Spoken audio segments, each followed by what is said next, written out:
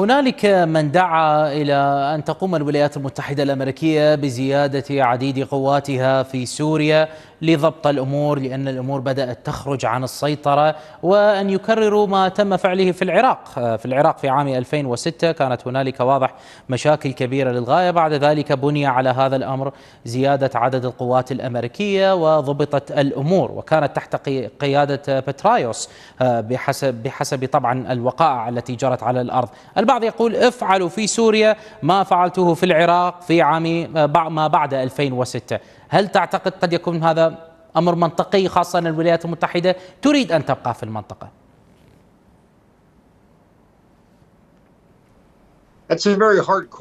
هذا سؤال صعب جدا أحمد.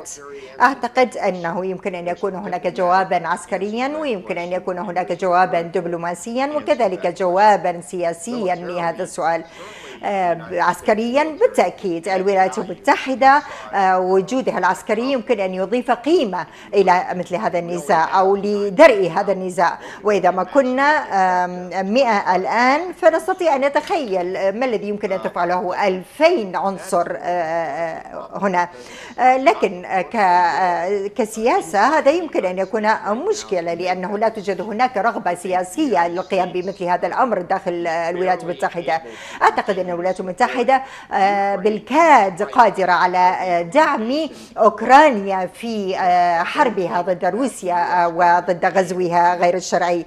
فلا أعتقد أن الولايات المتحدة يمكن أن تعطي أو يكون لها رغبة سياسية لإرسال المزيد من الوحدات. وأعتقد من الناحية الدبلوماسية أيضا وجودنا داخل سوريا يمكن أن يكون له تحفظات كثيرة.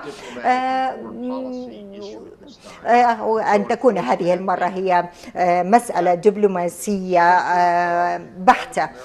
فأعتقد أن كل هذه القرارات الأمريكية فإن الحكم الدبلوماسي للرئيس الأمريكي وكذلك للكونغرس ومكتب الرئيس الأمريكي لا يوجد لدى مكتب الرئيس الأمريكي أو الكونغرس أن يكون هناك بداية جديدة للمزيد من التوسع للجيش في المنطقة.